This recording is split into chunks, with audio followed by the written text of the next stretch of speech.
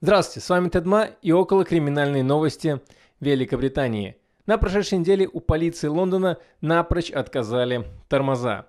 На видео вы можете заметить, как полицейские под прикрытием тормозят непосредственно о своего коллегу, который находится не под прикрытием. Не иначе как забыли пройти мод или прошли его по блату. Полиция Стивенеджа применила шокер к пожилому мужчине, укравшему банку пива. Меня не смущает то, что полицейские с трудом могут арестовать одного пожилого мужчину. Меня смущает мощность шокера, который практически не вызывает никаких последствий после его применения. В Кроули полиция арестовала мужчину по подозрению в попытке убийства. Два человека были доставлены в больницу с ножевыми ранениями. Но видите, видите человека, который размахивает мечом. Я думаю, у потерпевших стоит проверить зубы. Возможно, это вампиры. А возможно, мы арестовали единственного нашего спасителя. Интеллектуально недоразвитый малолетний представитель рода человечества запустил фейерверк непосредственно в торговый центр, после чего бросился на утек. К сожалению, неизвестно, был он наказан или нет, но будем надеяться, что Всевышний не дремлет.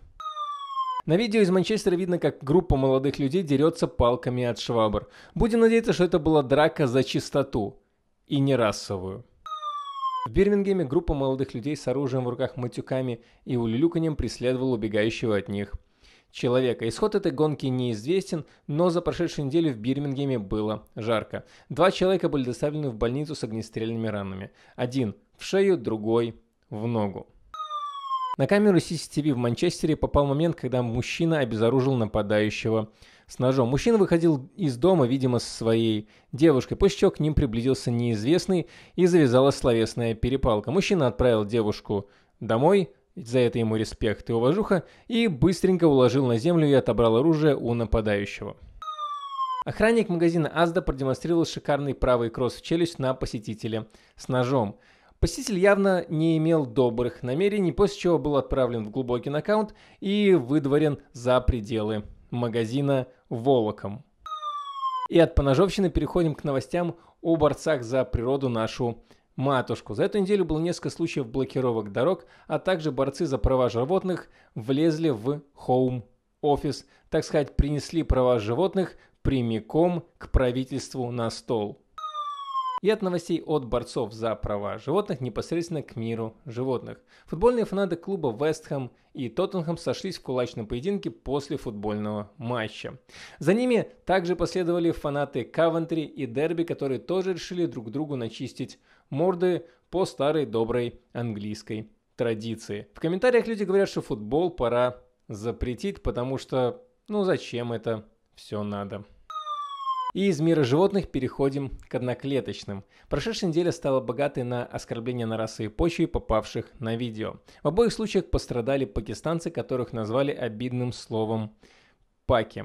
В первом случае действие имело место быть в Бирмингеме. Девушку, которую выгнали из клуба, засняли в тот момент, когда она оскорбляла вышибалу. Ее предупредили, что она going viral, то есть она станет популярной в интернете. Что в итоге и произошло. Во втором случае девушка отказалась одеть маску и наехала на водителя такси. Он вежливо с ней общается и говорит, что ей все возместят и не надо разводить здесь бугурт. Но в конце она не выдерживает, выходит, хлопает дверью, бьет машину, в общем ведет себя совсем уж непотребно. А у меня на сегодня все. Ребята, было очень прекрасно для вас собирать всякую трешачину и докладывать в более-менее веселом формате. Я ухожу в отпуск и не знаю, когда вернусь и вернусь ли. Но у меня есть мой канал «Записки иммигранта», где я с Кириллом, мы творим всякое разное, ну как творим, рассказываем интересное про жизнь в Англии.